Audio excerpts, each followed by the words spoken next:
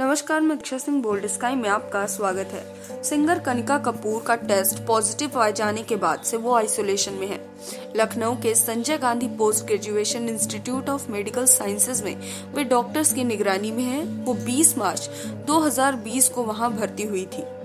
Test के positive पाए जाने के बाद से कनिका कपूर ने पहली बार इंस्टा पोस्ट किया है। उन्होंने इस पोस्ट में अपनी हेल्थ अपडेट दी है। कनिका ने एक तस्वीर शेयर की है, जिसमें घड़ी की तस्वीर के साथ लिखा है, ज़िंदगी हमें समय का सही इस्तेमाल करना सिखाती है। वही समय हमें ज़िंदगी की कद्र करना सिखाता है। इस पोस्ट के साथ कनिका ने कैप्शन में लिखा, सोने जा रही हूँ। आप सभी को अपना प्यार भेज रही हूँ सेफ़ रहें। आप सभी का मेरी चिंता करने के लिए शुक्रिया। लेकिन मैं आईसीयू में नहीं हूँ, मैं ठीक हूँ। उम्मीद है कि मेरा अगला टेस्ट निगेटिव होगा। अपने बच्चों और फैमिली के पास जाने का इंतज़ार है। मैं उन्हें बहुत मिस कर रही हूँ।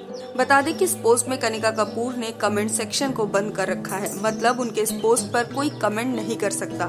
खैर, शायद कनिका कपूर ने ऐसा इसलिए किया होगा क्योंकि इन दिनों उन्हें काफ़ी ट्रोल किया जा रहा है। जब से उनके टेस्ट पॉजिटिव होने की बात सामने आई थी, उन पर लापरवाही का आरोप है। रिपोर्ट्स है कि कनिका एयरपोर्ट पर बिना जाँच कराए वहाँ से भाग निकली थी। आपको कनिका का ये पोस्ट और उनकी ये बात कैसी लगी हमें कमेंट बॉक्स में ज़रूर बताएँ। वीडियो को लाइक, शेयर करें, साथ ही चैनल को सब्सक्राइब करना मत भूलिएगा।